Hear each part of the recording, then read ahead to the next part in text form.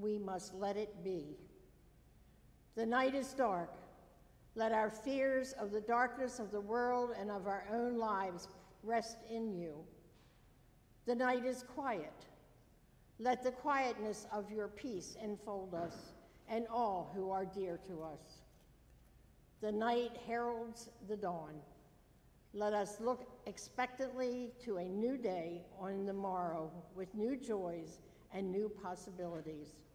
In your name we pray. Amen. Good evening.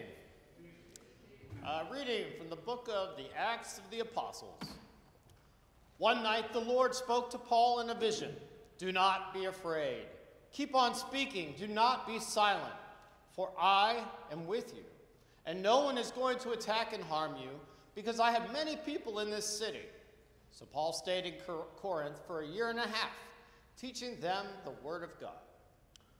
While Gallio was proconsul of Achaia, the Jews of Corinth made a united attack on Paul and brought him to the place of judgment.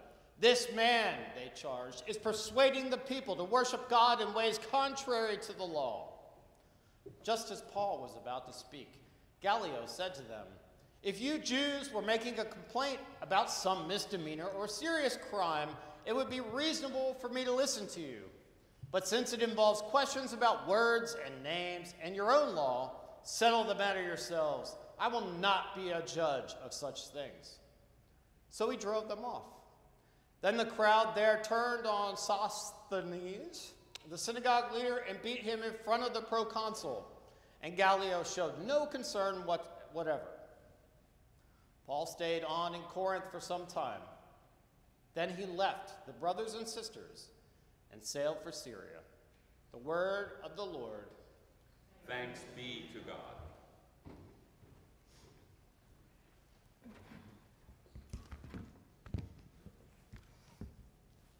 Lord our God, our Father in heaven, with all our hearts we want to thank you for sending us your radiant light from heaven. We praise you for the light you give our hearts. Grant that we may be your loving children. May our lives glorify you and our every breath belong to you.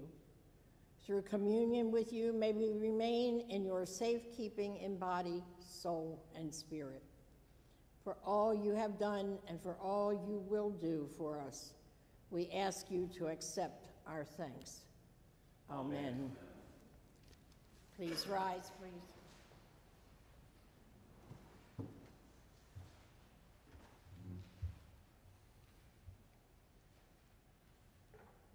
The Holy Gospel according to St. John. Glory to you, O Lord.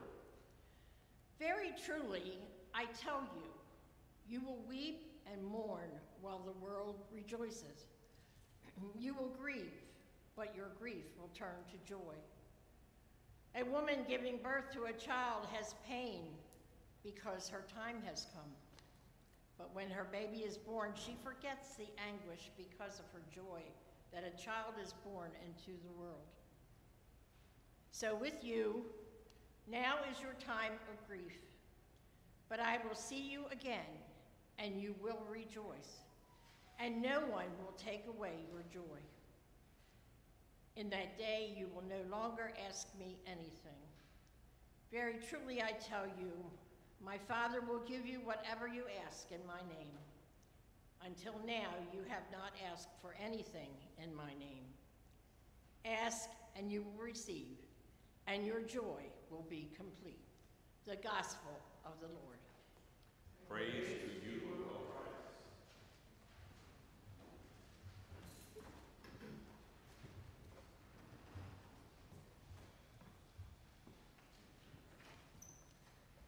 Well, this morning on my way, coming here to the church, I was stopped at a red light down on Key Highway, just several blocks from where I live when a car pulled around me at the red light on the left side and took off right through the red light.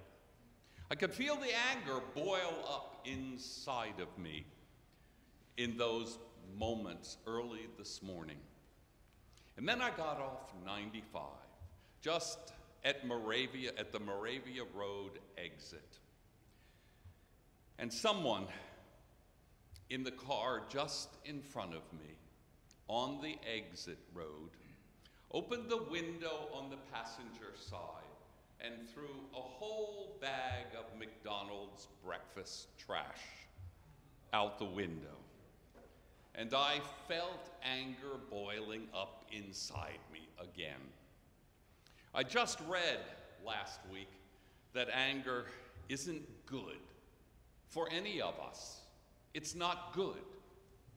The article that I read said that anger can increase the likelihood for heart disease, for a stroke, for an attack, and that within two hours of an angry outburst, the chance for a stroke is significantly increased. Well, anger does get to me. Anger doesn't come out of nowhere. Anger so often is our response to whatever threatens us or threatens something that we care about or something that we love. So, why did I get angry this morning when that person went around me and tore through the red light?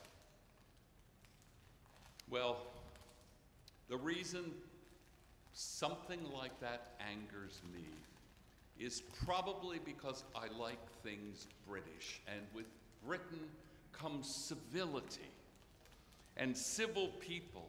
And I want people around me to be civil and to act civilly. Why would angry feelings well up inside me when I saw that trash flying out of the side window, the passenger side of the car in front of me on Moravia Road this morning? Well, I was angry because I like Baltimore. And people who show no regard whatsoever for Baltimore upset me and sometimes make me angry. Anger really is a form of love for something or someone that we care about. I saw a sign in the yard of a nicely kept house just off of Harford Road early this afternoon. The hand painted sign on that nicely manicured lawn said this Drive as if your children live here. Have you noticed how crazy some people are driving? How crazy some people are driving ever since we're back on the road since COVID. Well, Jesus got angry. At numerous times in the New Testament, there is a story about Jesus getting angry. Jesus got especially angry at the hardness of some people's hearts. But it's important to watch that anger doesn't take over our lives, doesn't get a grip on us because of our pride, because our ego is hurt. Some people get angry when their feelings are hurt or when their ego is wounded by something someone else says.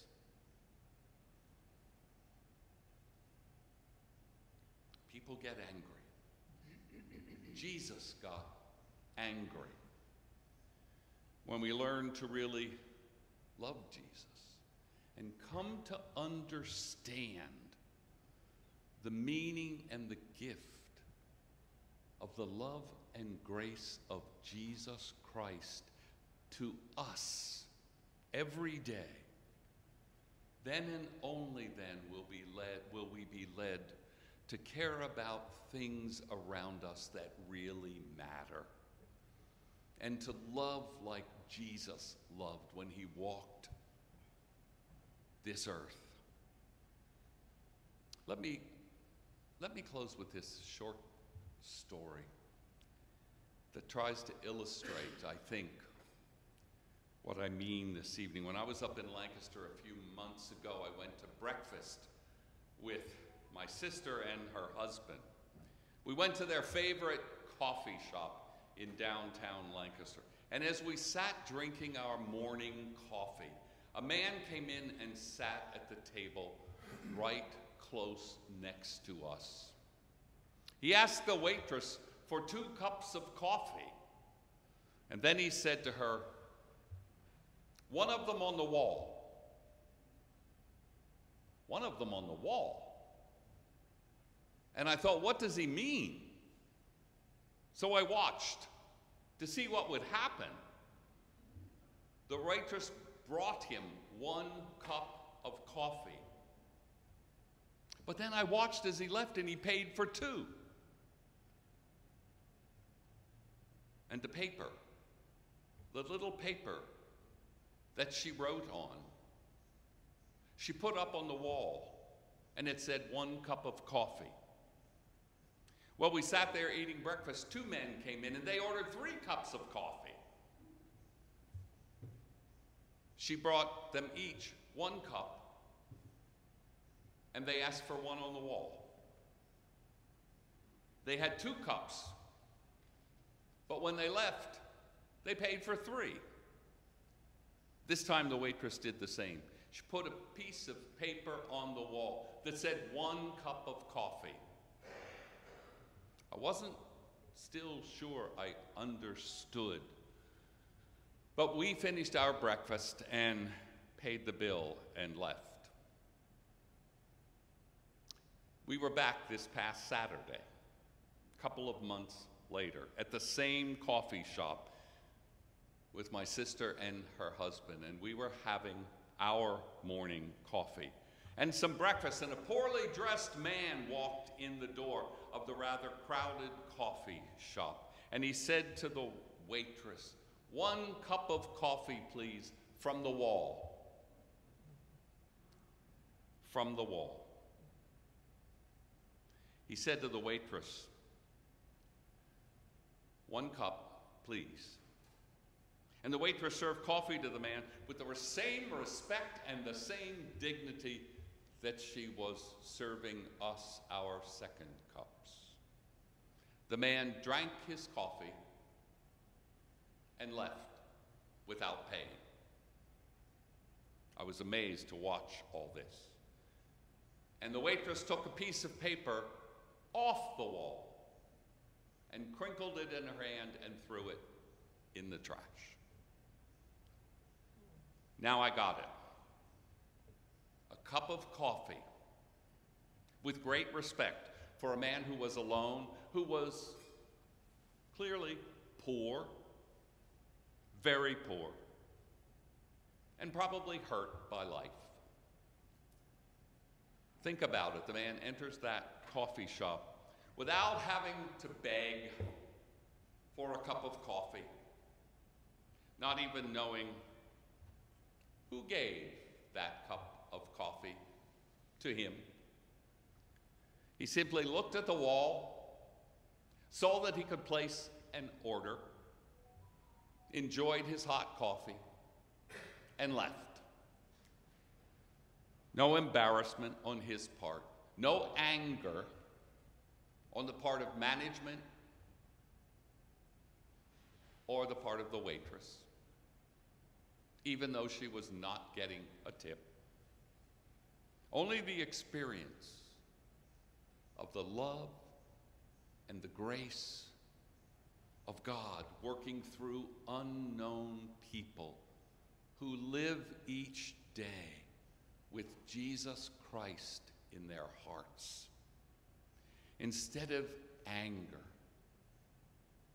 at other people and at what other people do. Amen.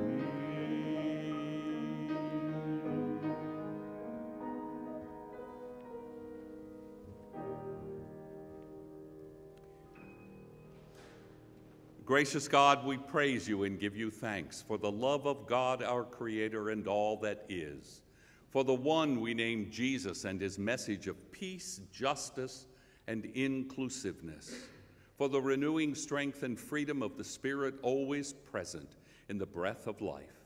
We give thanks for the presence of God in the midst of life.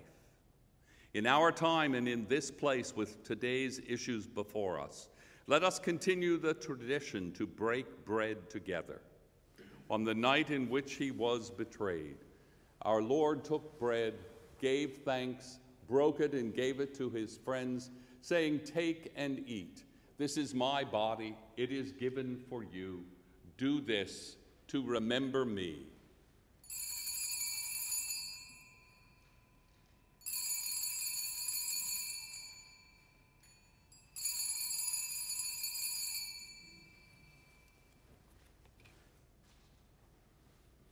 Again, after supper, he took the cup. When he had given thanks, he gave it to them, saying, Drink from this, all of you. This cup is the new covenant in my blood, shed for you and for all people for the forgiveness of sin. Do this to remember me.